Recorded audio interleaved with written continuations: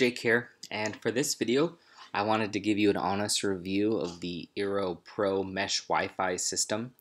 Uh, I bought this about a year ago, so we've used it in our house for a year now. Our house is a little over 3,000 square feet, um, two stories, so we put one Eero in the living room, one in a further bedroom, and one in another further bedroom on the second floor, and we've had nothing but issues with Eero. Um,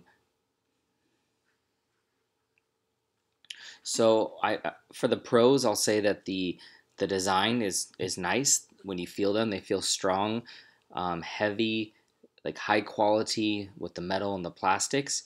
But their performance has been terrible. Um, within the first month of getting the Eero, we had a dropouts. So I called their support line and they walked me through a few things that seemed to get a little bit better and then it just started getting worse and worse. Um, I've moved them to different locations. I make sure there's no interference nearby. And we we we limped it through for a year but at the year point we just got fed up with Eero. So um, I want to let people know that their support was very challenging. Um, they even told me on the support line that Eero devices are not compatible with Apple devices and the fact that as your Apple device roams, meaning that it goes outside the range of the first Eero device, it will not switch over to the next Eero device very well or very quickly. So what happens is you may be watching a YouTube video and you roam outside the distance of the first Eero and it won't connect to the next one that's closest to you.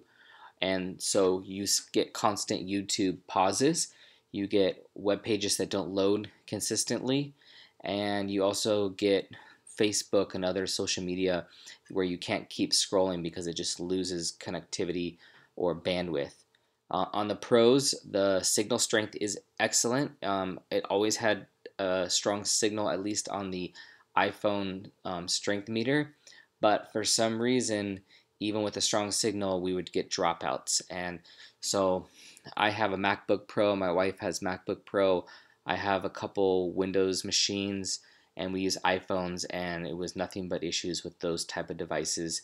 We were running uh, these Eeros with about 40 network devices connected Wi-Fi switches things like that and it would not serve the purpose for us.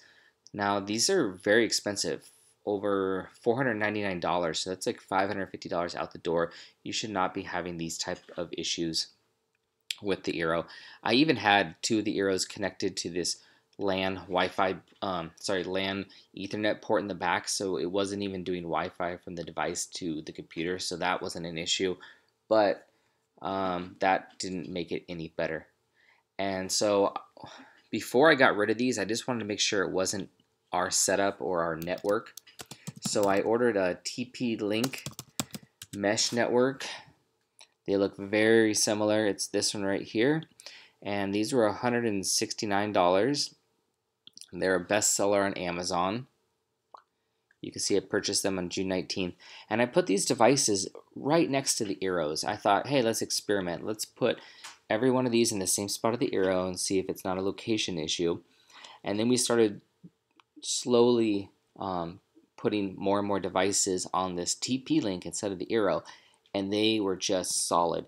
We've had no dropouts. Every web page loads quickly. YouTube videos never pause for us. Our Roku never pauses, and these TP Link Mesh Wi-Fi solved all of our Eero issues. Um, I would love to say that Eero was just a setup problem, but after about four phone calls with Eero support, I know that um, I did everything that the company knows about their device, and it still did not solve the problem. And in the last month, towards the end, we were on waiting calls with Eero for over 45 minutes. So I know COVID's going on, but over 45 minutes to get help for your $500 Wi Fi mesh network is just not going to work for me. So we decided to move on. Uh, we'll get rid of the Eeros. If someone wants to purchase them, shoot me a message. Otherwise, we'll throw them up on eBay or Facebook and see if someone else wants them. But I highly suggest these TP Link. Uh, they're called Deco Mesh Wi-Fi. in, in a house, two stories over 3,000 square feet. We're getting complete coverage, no dropouts. We have over 50 devices connected now, and I'm extremely happy with them.